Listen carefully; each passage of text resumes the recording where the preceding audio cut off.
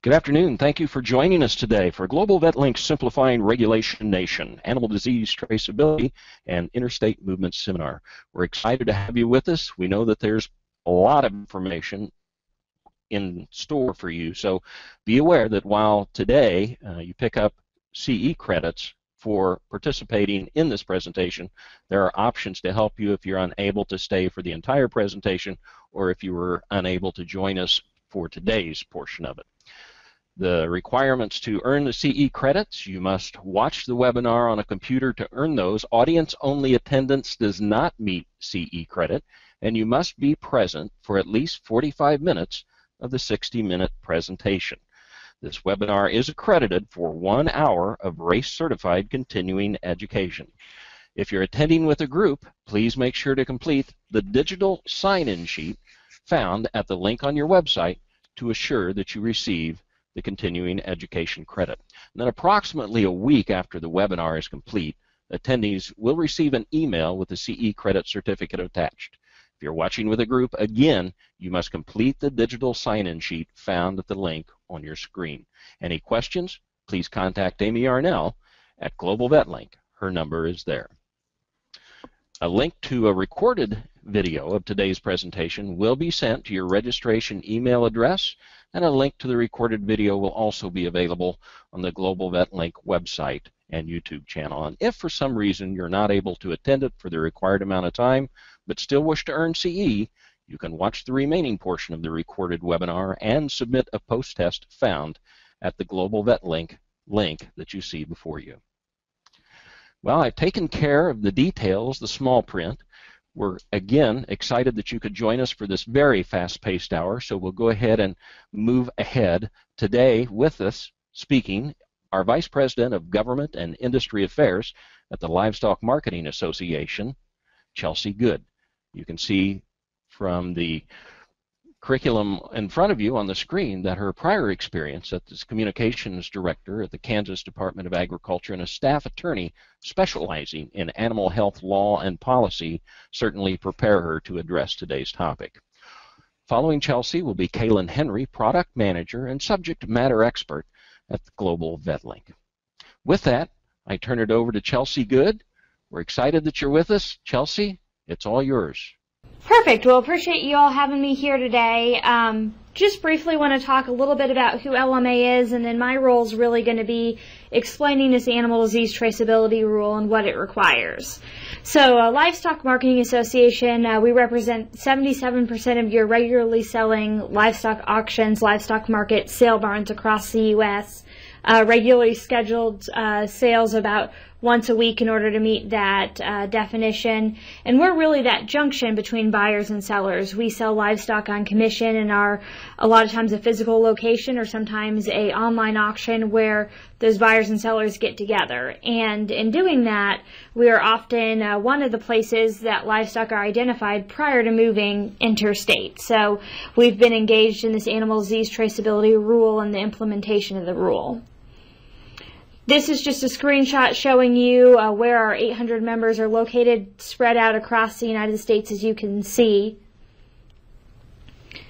Thinking about animal disease traceability and uh, why we're here, I think it's good to remember um, this is a USDA fact sheet that we're not here talking about the prevention of disease. Rather, um, we're talking about the ability to efficiently and accurately trace animals where they've been, what animals they've been around once disease is located. And if you uh, have been involved in the livestock industry for any period of time, you're going to know why this cow over here is wearing a Santa Claus hat and that would be the cow that stole Christmas, December 23rd, 2003. And obviously, as an industry, we're working on livestock identification prior to that point.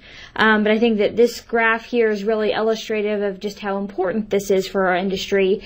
This is a graph showing uh, exports of U.S. beef, and you can see how they dropped drastically after 2003, and really it took us about a decade in order to uh, build our exports back up to where we were prior to that point.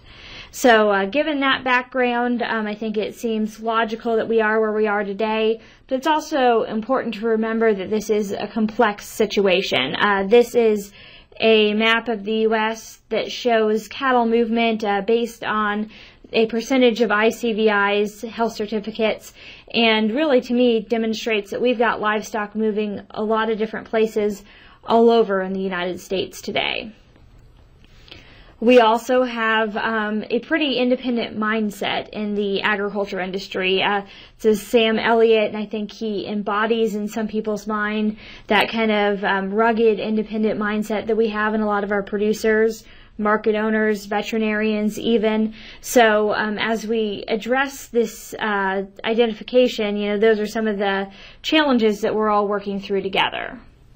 So in terms of what is ADT, um, many of you will remember National Animal Identification System, NAIS.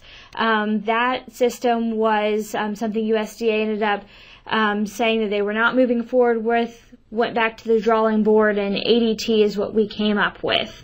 Um, the proposed rule was published in August of 2011. Typically, you'll have a comment period of 60 days for a proposed rule. There was lots of discussion and thoughts about this proposed rule, so that period was actually extended to December 9th of 2011. Uh, received a little over 1,600 comments and um, ended up publishing a final rule about a year later, December 20th, 2012. And that final rule that we're talking about and implementing today went into effect on March 11th of 2013. So what is required for ADT? Going to really focus on uh, the cattle component. Uh, for cattle, the following animals must be identified with an official ID if they're traveling interstate. Um, sexually intact cattle, 18 months of age or older is the biggest category, but the ADT rule also does require the identification of all female dairy cattle of any age and also dairy males um, intact or castrated, so dairy steers that are born after that effective date of March 11, 2013. Finally, the ADT rule also requires that cattle that are used for rodeos, shows, exhibition, recreational events be identified regardless of age. It's important to remember that this rule only applies to cattle that are moving from one state to another. It does not apply to cattle that are staying in state. In addition to the identification requirement, the federal ADT rule also has a uh, documentation and health certificate component of what is required. Um, cattle requiring official identification must also have an interstate certificate of veterinarian inspection ICVI, or what we commonly call health certificate, or alternative documentation um, in order to cross state lines. Also, generally, the official identification number of cattle that are officially ID'd must also be recorded on this health certificate. Only exception there is if they're moving directly to slaughter or if you have dairy steers under 18 months of age. I think it's important to remember that there was quite a few changes between uh, what USDA initially proposed and what those final requirements came out and that we just went over. Uh, these first three bullets are changes that allow for some flexibility, allow state veterinarians to make some decisions within the rule. We'll talk about those a little bit more in depth. Uh, the fourth one I really do want to point out though, and that is that beef cattle under 18 months of age are exempted. Um, so your feeder cattle are not a part of this initial rule. Initially, USDA um, had discussed um, allowing a phase two of feeder cattle to happen at a later date under this same rule-making process, and um, industry pushed back there, and USDA um, has now said they intend to address feeder cattle at a later time under a separate rulemaking process. So the state veterinarian decisions, you know, what are the flexibilities that we mentioned? Um, one of the big ones is what counts as official identification. The federal rule does uh, list out um, official identification ear tags, your 840 tags for cattle born in the United States, as um, identification that will count no matter what state you're in. However, state veterinarians also have the ability to accept um, some alternative identification, brands, tattoos, breed registration as official ID. However, it's important to remember that both the shipping and receiving states or tribes, if you're moving to a tribe, must accept that alternative form of official identification in order for it to count under the rule. Another important state veterinarian decision, and one that's getting a lot of discussion regionally right now, is the ability for states to ad- agree to and accept a document besides a health certificate.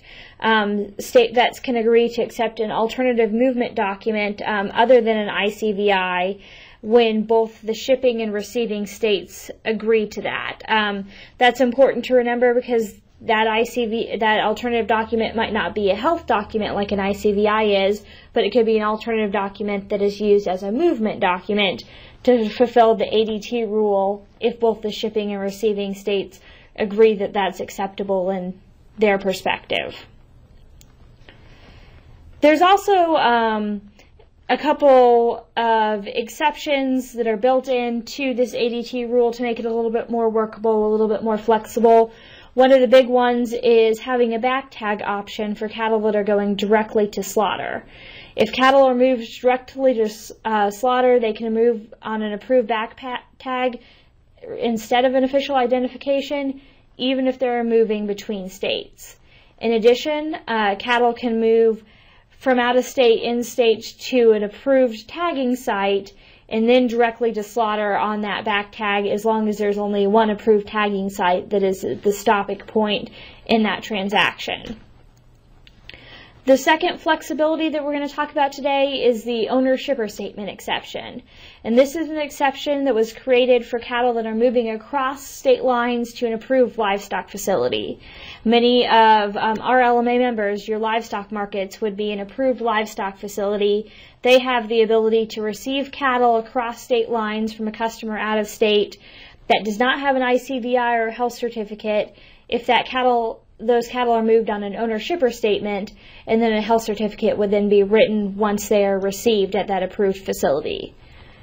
So, what is an owner shipper statement? Um, it's pretty clearly defined within the regulation, um, certain things that need to be listed, including uh, the name and address of the owner, where the cattle are moving from, and where they're being received. Um, however, there's no set form that is needed to be used to be an owner shipper statement. So in some cases, we see states using an existing document, for example, a tag-in slip at a market, as their owner shipper statement document. As we talk about ADT, I think one thing that's important to keep in the background and remember is that other state requirements are going to continue to apply. You know, states have for a long time set their own identification, documentation, disease specific requirements, and because of that, um, those requirements continue to re- apply um, regardless of ADT. So, in order to move cattle between states, uh, you need to comply both with animal disease traceability as well as any state import requirements. One um, example of this that's gotten a lot of discussion is uh, dairy steers. I mentioned earlier that while dairy steers born after March 2013 do need to be officially identified, those official IDs do not need to be listed on the health certificate.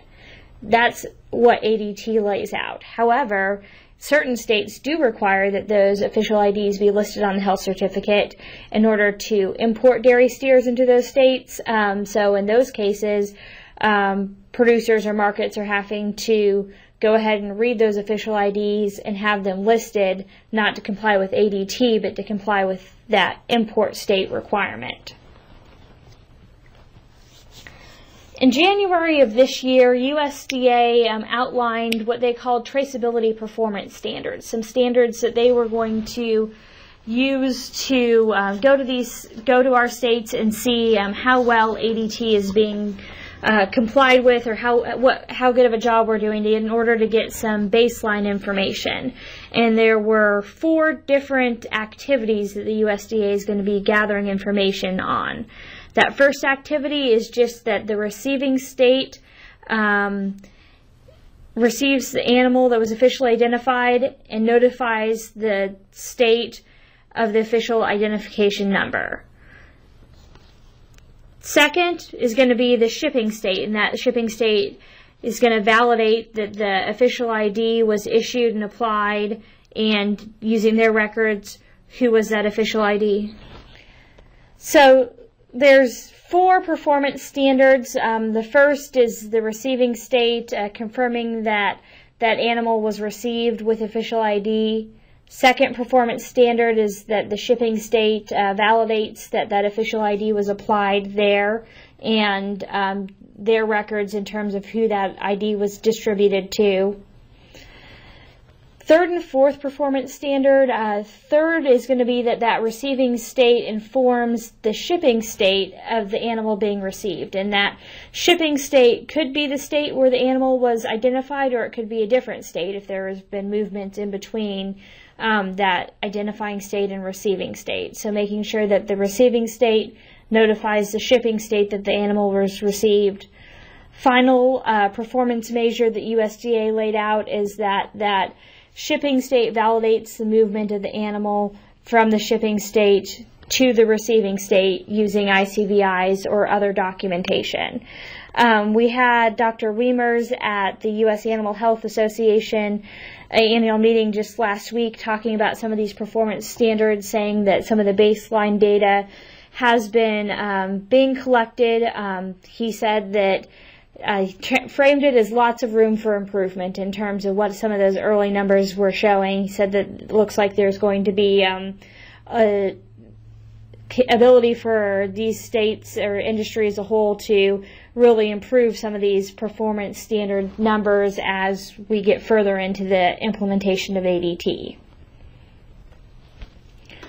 March 4th of this year, um, USDA did send out a bulletin announcing that they were entering into the next phase of ADT implementation. For that first about year, it really was an education phase, and this announcement in March of this year indicated that the next phase that we're moving into is an enforcement phase. That doesn't mean that USDA intends to have a handy, heavy-handed approach. Um, in fact, I think that that is the opposite of their intention. But um, they are going to pursue penalties in situations where an individual is repeatedly failing to comply with ADT requirements despite receiving education and receiving opportunities to come into compliance. In terms of what are USDA's enforcement priorities, they've outlined three priorities. First, the cattle that are required to be officially identified are in fact identified. Second, that our ICVIs or health certificates are properly administered. And third, that that collection of ID is uh, happening at slaughter at the packing houses. USDA is going to address these uh, ADT compliance with their existing staff, and cases would begin with an AVIC or an area vet in charge investigating a case, creating documentation, and then uh, providing that to USDA's investigative enforcement services moving forward. In March of this year, there was a monitoring and compliance document that was updated. That's a document we've seen a couple updates to. Um, some of the highlights from that document um, include the that states will lead educational efforts. Um, part of that is because states are making some of these individual decisions, and therefore it um, really needs to come from a state level to explain what is required in terms of will brands be accepted as official IDs and things like that. Federal and state officials um, taking the lead in distributing official identification devices, and it was hit pretty hard in that document. It's also the requirement of those individuals that are distributing those devices to keep records to determine where an animal was first officially identified. Um, document went into detail on ICVIs, the need for them to be completed by an accredited veterinarian to include the required information and to be sent to both the shipping and receiving states as is required. Document also outlines some field functions and some activities to provide a little bit more clarity in terms of what enforcement will like look like going forward. In terms of the responsible parties, um, it is pretty broad in terms of who is responsible. Uh, no person may move covered livestock or receive such livestock moved interstate. Talk to USDA, and it's their intent that this is written broad on purpose. Certainly, the owner that moves livestock across state lines without complying is going to fall underneath this definition. However, there's a chance in some cases that others will be responsible as well that um, were a part of that movement, and that is USDA's intent. So moving forward, um, consistency and enforcement is going to be key, and that's something we're going to need to see what that looks like going forward. We're starting to hear about some investigations on some of our first cases now. Um, have quite a few letters of information that have been sent out, but in terms of actual case numbers, we're pretty low at this point. Um, one question that I have moving forward and will be interested to see is how will enforcement of ADT uh, be consistently enforced against all regulated entities regardless of method of sale? We realize as livestock markets, lots of cattle move hands through our markets, and will certainly be a place that state and federal officials are looking to make sure the requirements are being adhered to, however they apply to all cattle 18 months of age or older, regardless of how they're sold. And because of that, um, we're going to want to see um, consistent enforcement in the country as well. There's also um, some questions still on the state side in terms of what will the role of the state be when it comes to enforcement, and I think we'll learn a little bit more and see a little bit more there moving forward.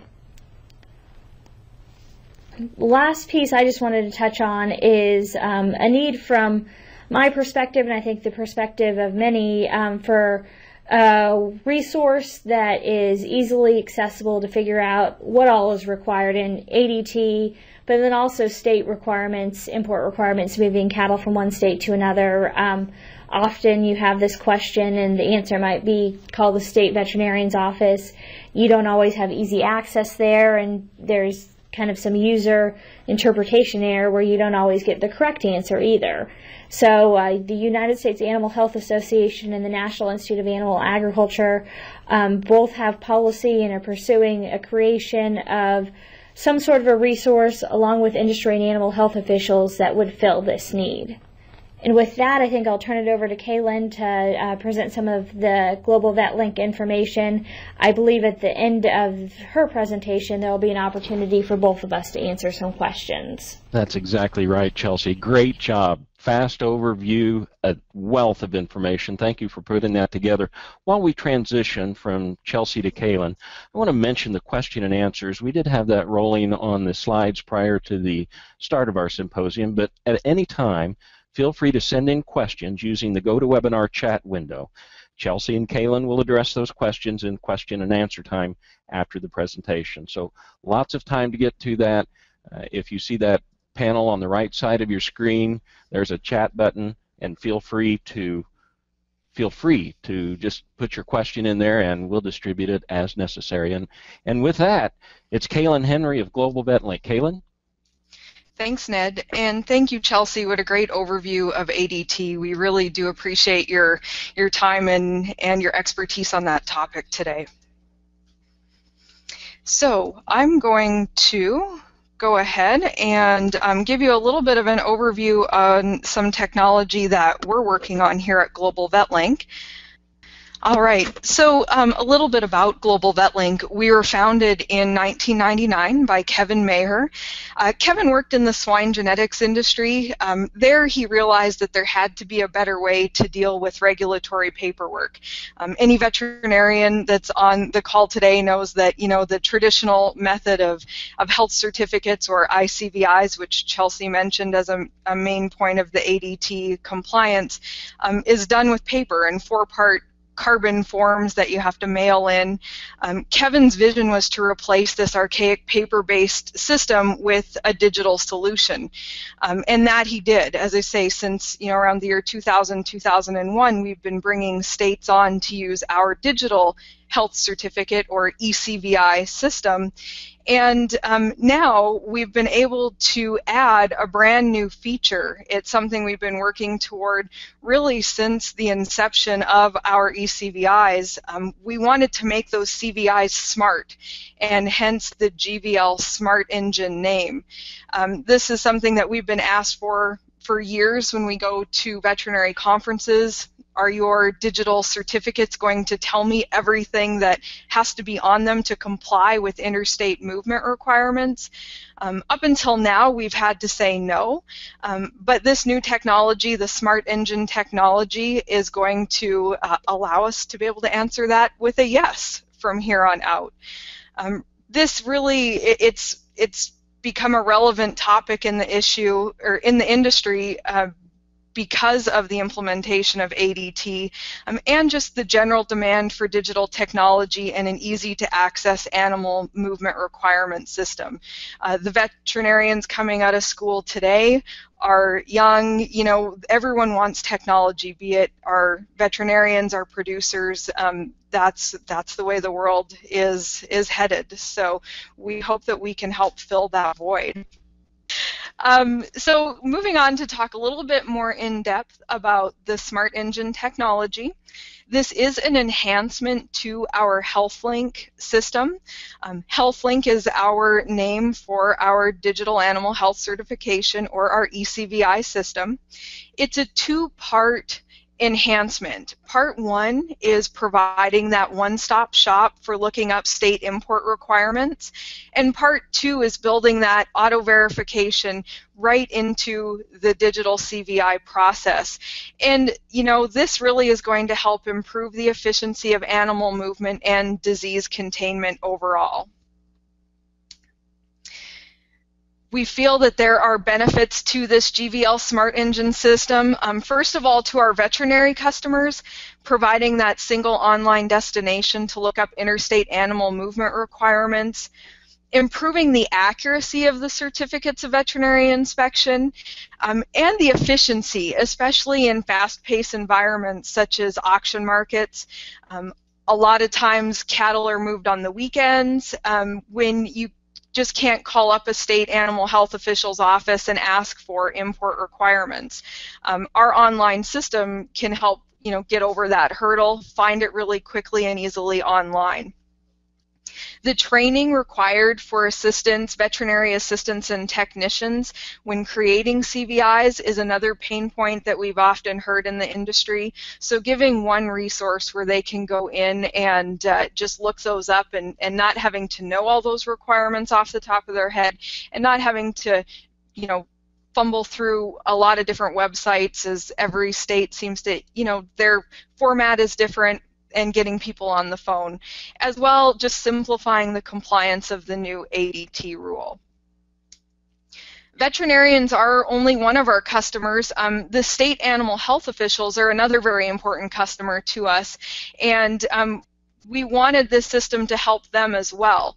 So our intent is that this would help reduce the number of incoming phone calls for import requirements to the state offices eliminating the need for states to keep up their own online requirements web page, if they choose, of course, and improving the efficiency of reviewing those documents once they get them in, because we can build features into their online system that they have with us to help them review those documents and ensure accuracy whenever we make documents more accurate from the beginning, that's obviously going to reduce time spent following up on compliancy issues.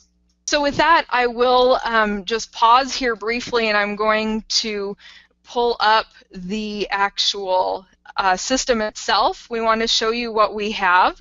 Um, it is in a beta release right now, so we actually have things live that we can show you you should see um, the web page that we've set up for our movement requirements powered by GVL Smart Engine.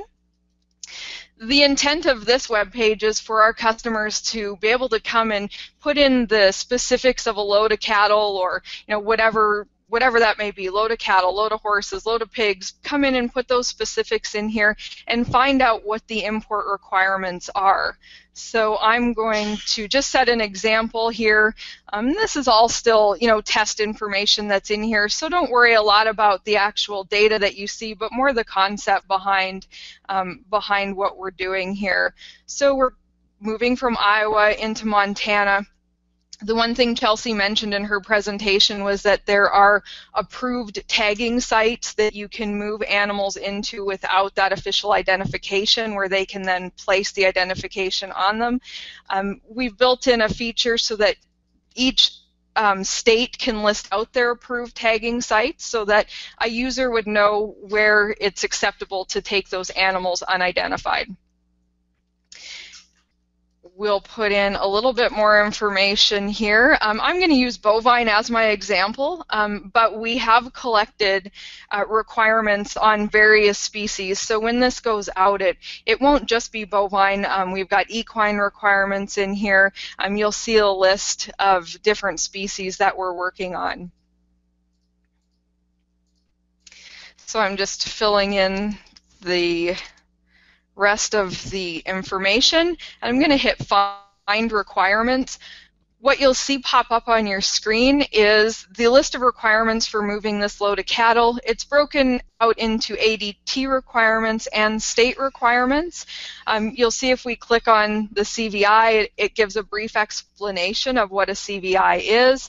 Um, same with the entry permit if there are any notes or um, potential exceptions that go along with each requirement, those are noted here and we can click and expand and then read what those notes or exceptions are. So that's piece one when I talked about that value proposition for veterinarians. Um, piece two is the piece where we built it into our CVI process. And so I just have to flip screens here if you just bear with me we will get logged in as a veterinarian. So this may be new for some of you out there. Um, what you're going to see is what our veterinary uh, clients see when they log into our system.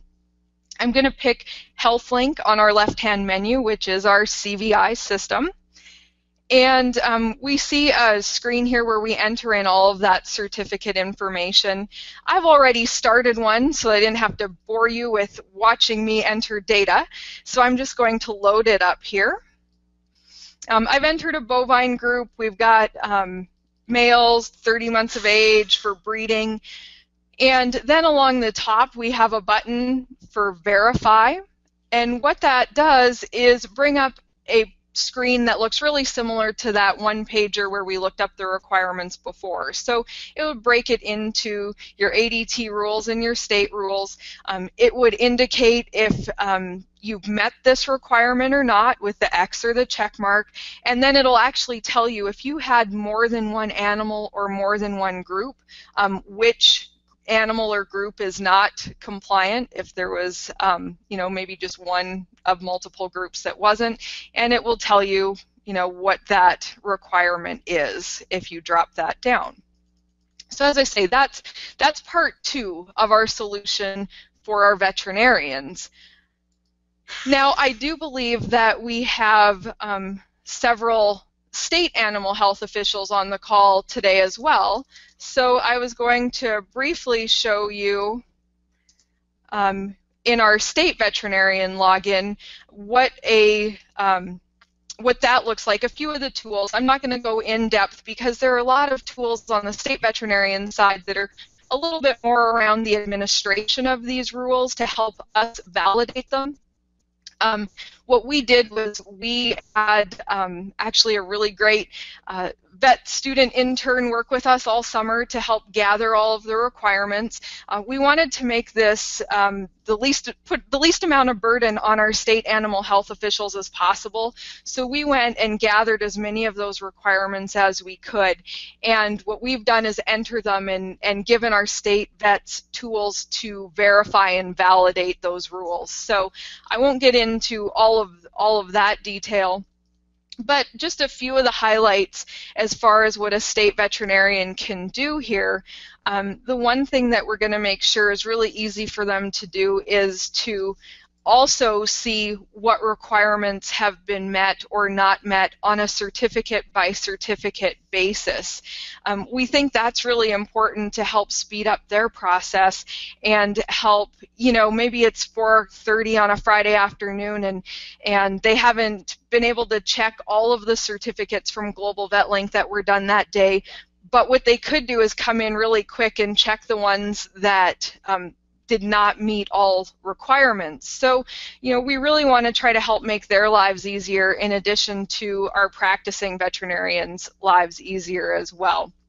And from here, you know, they can also look up, go to our our rule lookup as well and, and use that tool. So um, really exciting time for us with having this in a beta release. Um, that beta release means that we do have the tools in the state veterinarians' hands. Um, that's where we want to start. They are the ones that you know we have to work with to get all of those rules in there correctly and validated. Um, and then once we do that, that's when our veterinary clients will be able to use both the lookup page and the certificate validation. Um, so we're working through that process right now with our state partners. Um, we've had really great response so far, and, and we hope to uh, you know be able to push this out to the veterinarians soon as well. So um, with that, I will throw it back to Ned and um, we can go from there. Nice job, Kaylin. Great overview. Appreciate your information. I appreciate the uh, the uh, show that you gave us regarding your software, and can see that it would be very valuable to anyone in the livestock industry that is involved with moving livestock from certainly one state to another, or really within the state. Good stuff. Um, Chelsea, we do have a, our first question from the audience, and again, just a reminder, audience, if you would use the chat window to the right of your screen and uh, type your questions in there.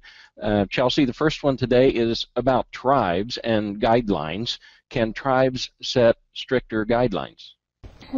You know, that's an interesting question, and I, am not positive the answer to it. Um, they tribes are used like state or addressed like state veterinarians are in terms of their ability to make decisions within the rule. I'll be honest, I'm not sure the answer in terms of um, can tribes have a well any any state can have stricter guidelines. Um, so for example I, I gave the example of the dairy steers and their import requirements in some states being stricter than ADT stricter guidelines certainly. Um, I do know that states cannot opt out of ADT and I don't believe tribes can either but I need to um, admit that I'm not positive if tribes can have less strict guidelines. I just do know that do know that they can have stricter guidelines. Hopefully that makes sense. Great, thank you for the, the clarification you were able to give us. We have a question uh, again on clarification from the audience. For clarification, standard four is to get the shipping state to determine the premises the animal was actually shipped from. So for clarification standard 4, get the shipping state to determine the premises the animal was actually shipped from. The um the shipping the it's my understanding that for example the the state or tribe that receives notification that an animal moved interstate from its jurisdiction determines the address or location from which the reference animal was shipped. So correct, that the shipping state determines the location that animal was shipped from. Okay, very good. Let's go to the next question from the audience. For producers wishing to sell truckload lots of mature cull cows to an out-of-state slaughter facility, where would logical places be for those cows to be back tagged? As I understand it, those animals cannot move directly from the farm to the harvest plant without an official back tag placed on each individual cow.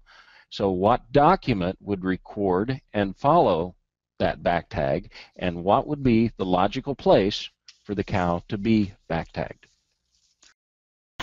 So, in terms of what the rule requires, that it's correct that if those if those cattle are moving interstate, but they're moving directly to a slaughter facility, they may be back tagged. In terms of um, the question on back tag placement, um, I think that I'm perceiving that to be a literal question, and my answer would be the hope would be the back tag would be placed in an area that there is um, good retention, that the back tags are not lost. So that that's my answer to back tag placement. That it needs to be placed in an area that you have good retention. Is there a um, a, a, point in the shipping process that the back tag would most logically be placed, where at the point oh, that it would be oh. applied? Oh, okay. At, at, what time would it be applied? That makes sense. Um, it is my understanding that it is supposed to be applied prior to moving interstate, unless it is being moved interstate directly to a tagging site approved livestock facility, in which case it could be applied there and then moved directly to slaughter. So either prior to moving interstate, if it's going directly to slaughter, would be, I think, the um, the most common model or the the model that I hear talked about the most. Um, I hope that that's responding to the question. Yeah, that's great. Great information, Chelsea. I'm going to go to Kaylin with the next question from our audience. Will GVL be legally responsible for providing each state's import requirements, or will the information be similar to that available on the USDA APHIS website? So the question really has to do with how detailed the information will be, and will it be specific state by state? Great question it is our goal to make the information as detailed and as complete as possible. Um, however, we obviously, um, you know, we have to make sure we do things um, to cover ourselves for liability purposes. Um, we will have agreements in state with each state before th- this is released to veterinarians. Um, we also have different ways for um, for users to know when the last time that the requirements were updated for each state. So um, there's uh, already built into the system going to be an automatic email go out um, periodically to ask all of our state users to go in and update the valid as of date so that that always appears when that screen pops up to show you the requirements. You know, so it would say the state of Iowa validated on October 1st. Um, so we have some things in place for that. That has been, you know, one of our concerns that that we've heard when talking to our customers is knowing how current that information is. Great good insight. I appreciate that response. So here's a very specific question. Um, a gentleman is in the Rangeland is the Rangeland program manager at the Pueblo of Laguna, and his Rangeland code requires that all livestock being imported into the reservation be accompanied with a CVI. Will he, and how will he, be able to access your system, Kaylin? So um, if he's talking just the lookup page, um, uh, that will be behind our login in the initial um, in the initial release, so it will be available to any of our our, our clients, um, and it is all online right now. Um, it's it will be an online um, tool at the moment. Very good. Next question: If states do not keep their web pages up to date, and GVL is the only place to get the information. Does that the question continues with how is that a good thing? And I guess I would uh, rephrase that to say, does that limit access to the information for general uses by those who don't directly use GVL? Now, as I continue with this, the USDA APHIS website has links to all the states that take you straight to the information, there is a concern about GVL being the only place to find the up-to-date information. So, any thoughts on that, Kaylin? Yes, you know, I think for us um, that that's a long-term vision for us. Sure, we would love to be able to be the place to go to take that off of the states, you know, off their plates. We know that you know there's less and less time, less and less resources all the time. And if we could be that place, if we had some kind of, um, you know, some kind of a working agreement with that, you know, obviously that's probably not the the near term, but as say, it's one of those things that we would love to be able to help out with. Um, and um, you know, I think that's just where we were going with that. And you know, kind of when I was presenting it, even said if they choose, you know, if they choose that to be the case. So um, I still I still see the states keeping up their websites as well. Um, but you know, you never know where this could progress to good information, and it's kind of an open-ended question. It's very difficult to foretell the future. Um, okay, next question from the audience. Through Global VetLink, this is very specific, are you able to put more than one species on a single eCVI? we encourage one species the way our CVIs are set up. Um, that came from you know, we designed it that way after polling the state veterinary offices how they, you know, how they wanted to see them. So um, the one species is how it's it is set up right now. Very good, very good, and um, uh, an easy one. When's the lookup and validation expected to be available to veterinarians? I would love to see it available to veterinarians uh, by the end of the year. What we'll do is we will turn it on state by state as those agreements, you know, we have um, we work with each state and we want to make sure that our our contracts and everything are in place and they have rules validated. Um, but we'll turn those on as we get them, so it doesn't have to be an all or nothing kind of a thing. Sure. Sure. A lot of a lot of questions about the interaction of GVL and not only the access but also the technology. Here's one from the audience. When entering individual animal ID, is there a way to collect RFID 840 tags and use that technology? And how does that work in coordination with GVL system? We don't currently have a hardware interface. Um, we have what we call our ID wizard built into our CVI system. Um, it's an easy copy and paste from a spreadsheet, um, which a lot of those RFID readers will dump information into a spreadsheet. Um, so right now, we don't have any kind of hardware integration for the reader. Understood. iPads. Who's without them? The question is, will we be able to use an iPad to create or access infor, uh, create eDocs or access information in the GVL system? Yes, you can use an iPad. Currently, you can use an iPad um, as long as you have internet access. Very good.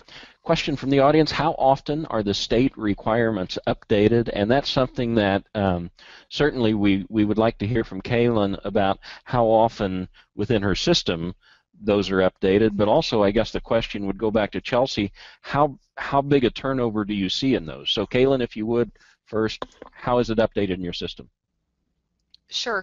Um, as I say, we're kind of working on that first pass right now to get all of them in initially. Um, and then the understanding with the states will be, you know, as soon as they have something that changes that we want them to let us know, um, it's going to be a priority for us to update those in our system.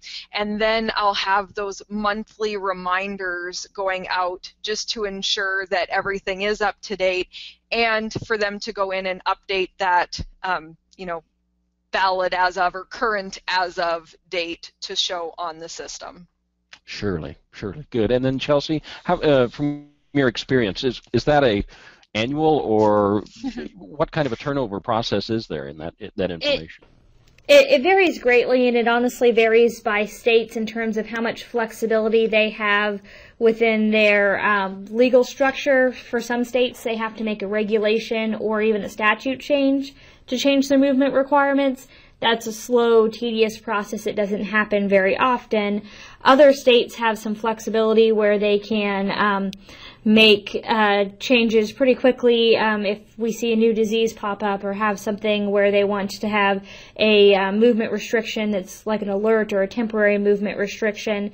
We'll see those more and more often. Um, the other thing is, is within ADT, states do have the ability to reach agreements with other states. So we um, could see more states starting to, for example, enter into agreements will, where they would accept and alternative movement document rather than an ICVI, that's a pretty fluid process that um, could see you know, multiple updates a year in that way. So it really does vary. Okay, so the question is, thank you, Chelsea, nice job. Question from the audience, can you upload an Excel spreadsheet or a CSV, comma separated value form, so the individual official ID can be searched on? Kaylin? All right. Um, as I mentioned, the feature that we currently has is a copy and paste um, from the spreadsheet. Um, our old system actually had an upload and it, it seemed a little bit complicated sometimes. Um, so we've got a really easy copy and paste right now from a spreadsheet. And then that does go into our database. So in turn, that makes those IDs searchable. So um, when the state veterinarians, um, if there is a, a trace out situation and they're looking for CVIs with a specific ID, they can go to their login that I briefly showed you, type in an ID, and um, and and find any certificate that has that ID on it. Great, thank you. Chelsea, a question on official tags. Besides official metal tags, are there certain electronic ear tags that are currently approved for interstate movement? I, I believe that there are, that USDA has worked with a couple of different providers for that. Um, the only thing to be aware of is that there will be a change as of March 11th of 2015. Um, prior to that, um, you're going to have your individual company tags that would be counting's official ID. Following March 11, 2015, all official tags are going to have to bear the official ear tag shield, and that uh, goes through USDA, but USDA is working with some providers to have those electronic tags um, available as official ID in addition to the metal NUES tags. There we go. Uh, great information again, Chelsea. Kaylin, uh, question from the audience. The GVL Smart System, how does it work with the state's eCVI and iCVI? We have these electronic CVs in 22 plus states, so how do those interact with the smart system? Um, the our smart system just works with our CVIs, um, so with the CVIs that Global VetLink offers. So there is no interaction at this time with the state with the state run systems. Understood. So here's another question related to the state and the state run systems. How can you ensure every state has up to date movement requirements? Until this is ensured, as a veterinarian, the questioner notes, I'm responsible for contacting them directly. So what what process is in place to make sure that it's an official knowledge so that the veterinarians and others who need this information can rely on that rather than having to go back to the states? Great question. As I mentioned, um, all of the rules that we're putting in have to be validated by the state animal health official before they're actually used in our system. So um, no rule will be used in the system until it's validated. And um, every rule actually, it has a validate button on it, it. The states can either validate it or send us feedback if we need to, you know, adjust it, correct it, edit it, delete it. Um, so they're you know, no rule will be used unless it's validated by the state. Understood. Great. And by the way, we've got about another four or five minutes left in this presentation. And as we mentioned before, you will receive links to the video of the presentation if there are others in your organization that you need to share it with. So here's a really good question for technology people trying to figure out will I have internet access? And if I don't at this location how will I be able to use the system? So can I work with this offline or do I have to be online with internet access to utilize this? And are there any bandwidth requirements? Great question. Currently our system is entirely online, um, but we have been researching um, the the demand for offline products as well. So um, that's something that as a as a product management team we're exploring as well. So not yet, but sometime soon. Can a shipping permit number be issued through Global VetLink electronically if needed, or does the vet still have to contact the state of destination to get that, Kaylin? Uh, you will still have to contact the state of destination for the uh, permit number. Very good. And we touched on that one. What is the cost? Oh, here we go. What is the cost for a veterinarian that is writing five to 40 CVIs a month? And uh, that that would be the question. So, we, can you give us some idea for, in this case, a veterinarian writing less than 50 a month, what kind of cost they might come to Sure, that's a great question. Um, really, the best thing to do is to call our territory managers on that. Um, uh, as product managers, they don't they don't let us price things. Um, we uh, we leave that up to our territory managers because it does. It depends on size of clinic. It depends on certificates, how many vets, and so on. So best thing is to definitely talk to one of our managers. Understood. Kaylin, uh, this question we, we touched on briefly, but uh, kind of from the other side of it. The, the, question from the listener is Is GVL the sole vendor for a web based animal health import requirement system, and is it funded by the USDA? Are you the only place, the only system of its kind? I'm the only, or we're the only system that I know of um, currently that is trying to implement this this type of a thing. Um, we are not funded by the USDA. We're a private we're a private company. Um, so as I say, as far as I know, to my knowledge, we're the only one um, taking this this initiative at this time. Understood. So as we finish out today looking for a uh, last question or two for that uh, sole source time frame. Um, time frame. What's the time frame that this new feature is going to be available, Kaylin, to veterinarians? As I say, we're we're working through getting all of those requirements in with the state animal health officials right now. I would love to see some states turned on by the end of the year. That's one of my big goals. Um, but as I say, it'll be highly dependent on you know how how quickly and seamlessly we can work through getting all of those requirements in um, accurately and and getting those validated with our state partners. Great information. Great information, Kaylin. Kaylin Henry, appreciate you uh, filling us in on the Global VetLink side of the equation, and Chelsea Good, Vice President of Government and Industry Affairs with the Livestock Marketing Association. Thank you as well for the wealth of information you shared with us today.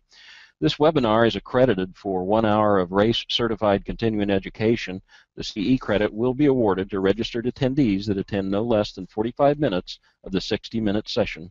If more than one person attends the webinar under a single login, all present attendees must complete the electronic sign-in sheet available at globalvetlink.com slash simplifying hyphen regulation hyphen nation and the recorded version of the webinar will be available for CE credit. Each individual that wants to obtain CE credit must submit a passing post test, which will also be available at the globalvetlink.com website. Follow-up survey, Global VetLink will send the attendees a survey after this webinar is over to learn more about feedback on the webinar and to obtain information to apply CE credit. The webinar is being recorded, will be available at globalvetlink.com within seven business days after the webinar. And for more information, call Global VetLink at 515-817-5704 or check out the webpage at Global VetLink at globalvetlink.com. Thanks again for attending this webinar on simplifying Regulation Nation, animal disease traceability, and interstate movement requirements made easy, brought to you by Global VetLink. For Truffle Media Networks, I'm Ned Arthur.